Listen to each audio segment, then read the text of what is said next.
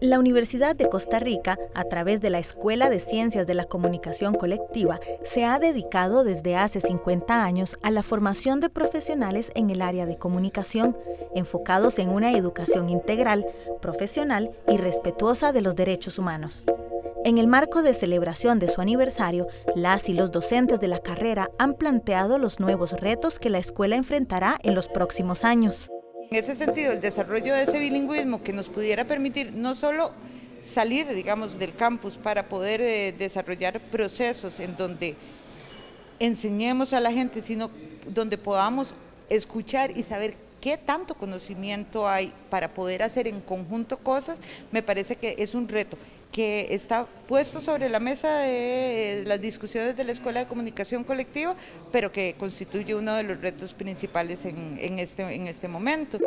Durante el acto de celebración, los estudiantes de comunicación conversaron con Desde la U sobre la importancia y los aportes que la escuela les ha brindado durante sus años de formación.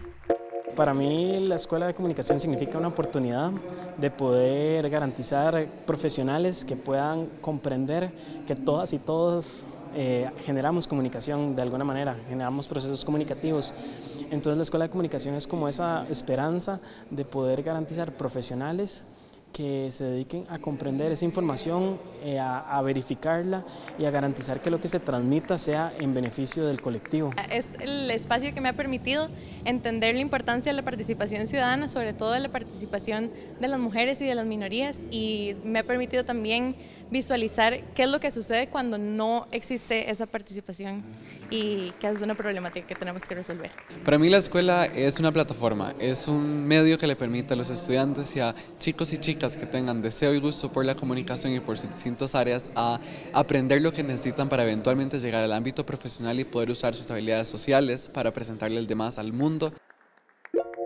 Al finalizar el acto de conmemoración se premió a los profesores destacados de la escuela, quienes a lo largo de sus años han brindado un aporte importante a la sociedad desde sus funciones como docentes y comunicadores.